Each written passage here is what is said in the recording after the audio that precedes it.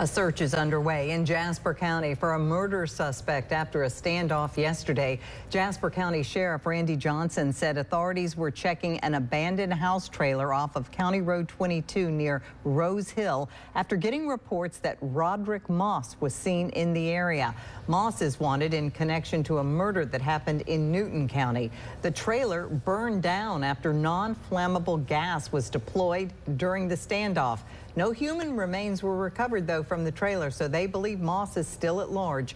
The state fire marshal is investigating the cause of the fire. Anyone with information about Roderick Moss can call the Jasper County Sheriff's Office.